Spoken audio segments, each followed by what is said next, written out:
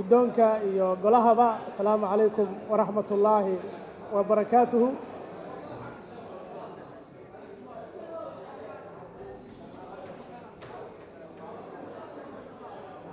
guddoonka iyo golahaba waa salaamayaa assalaamu calaykum waraxmat ullaahi wa barakaatuhu salaan kadib uu ku mahadsan yahay guddoonka hadalka uu isiiyey maantana baarlamaanka sidii isniintii waa ka duwan yahay oo waa noo xasilan yahay.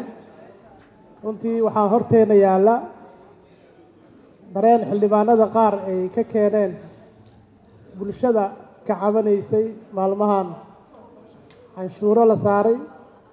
Sidaa darteed markii arrimahaas bulshada iyo adeega bulshada cabashooyinka ka yimaada aan ka hadlayno waxaa habboon in aan siyaasadaha dhexdeenna ah aan lagu dabaqine sida ay tahay aan u wajahno maadaama dadkii aan matalaynay ay ka dhur sugayaan sida cabashadooda aan ula falgelayno xildhibaanka hadlaayana la ixtiraamo kan fadhiyo dhegaysanayana isagana la ixtiraamo.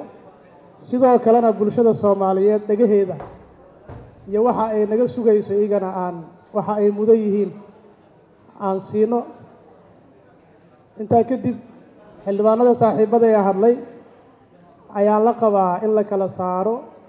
Waxaa la yidhaahdo canshuurta oo dowladnimadu ay ku dhisan tahay shaqooyinkeedana ay ku gudato iyo lacago sharci darro ah.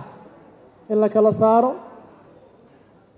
canshuur waa canshuur waa mushaarka ciidamada waa mushaarka macallimiinta waa xildhibaanada halkan fadhiya laftirkooda mushaarkooda. Waa dowladda.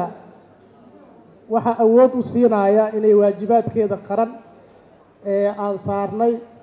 Bulshada soomaaliyeedna ay u hayso ay ku gudanayso. Canshuurta gadidda oo si gaara loo taataabtayna wax hadda oo dalkeena ku cusub. Ma ahan sharci lambar labo oo soo baxay kun sagaal boqol siddeetan iyo afartii ayaa ka hadlaaya magaciisana uu yahay xeer maaliyadeedka ballaarinta daaxadda sharciga canshuurta gedidda. Ayaa ka hadlaaya ujeeddadiisuna ama baahida uu daboolayana ay ahayd in dowladdu ay awood u yeelato horumarinta dhaqaalaha amniga difaaca iyo arrimaha bulshada. Si ay u horumariso intaasoo dhan runtiina walaxadda soo baxay ma aha laakiin dalkeenna ayaa burburay wakhtigaas kadib.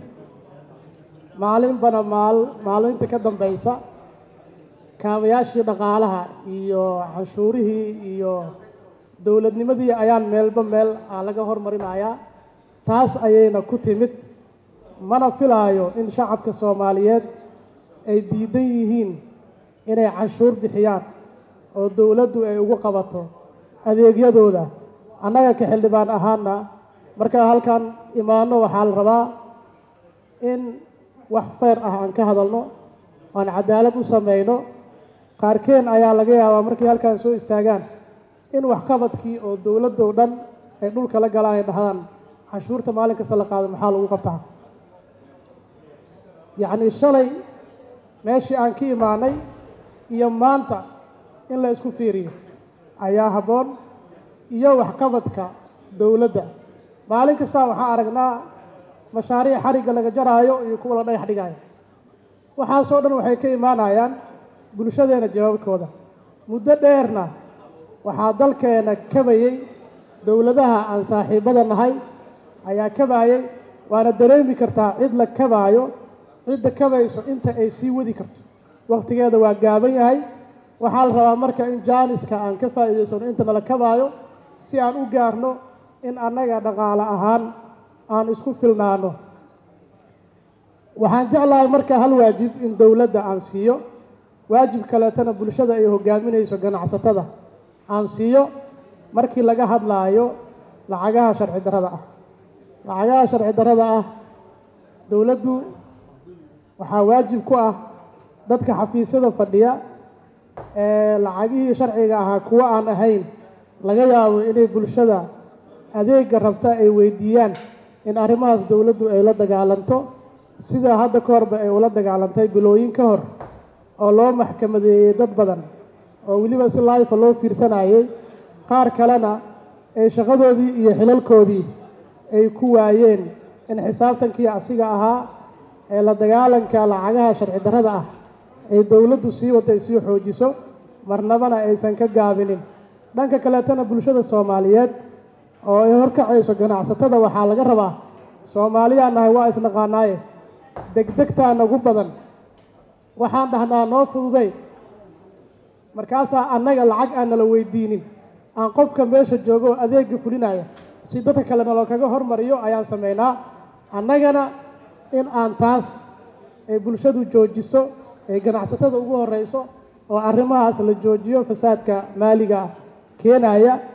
Qofka meesha fadhiyo ee aada leedahay ii fududayna waxaa laga yaabaa markii uu adiga kuu fududeeyo inuu un badan oo kaleete oo sidaasoo kaleete uu u sameeyo.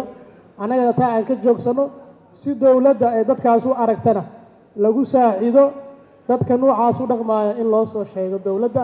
Waajibaadkoodana ay runtii ka gutaan si oo sistamkeena ama hannaankeenna maaliyadda uu u hormaro fasaadkana uu inooga dhammaado sidaa si la mid ah waxaana laka rabaa in canshuurta annagoo xildhibaano ah laftirkeenna aan nafsadayna ku bilaawno bulshadana aan ku wacyigelinno maadaama dowladnimadii aysan soconaynin canshuur la'aan adduunkana uusan ka nagu sii wadi karin.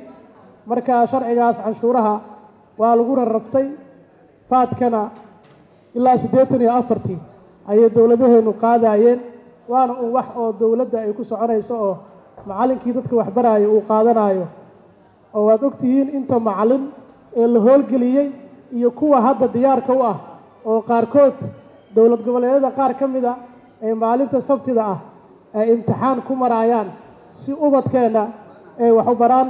Aadaa u mahadsantii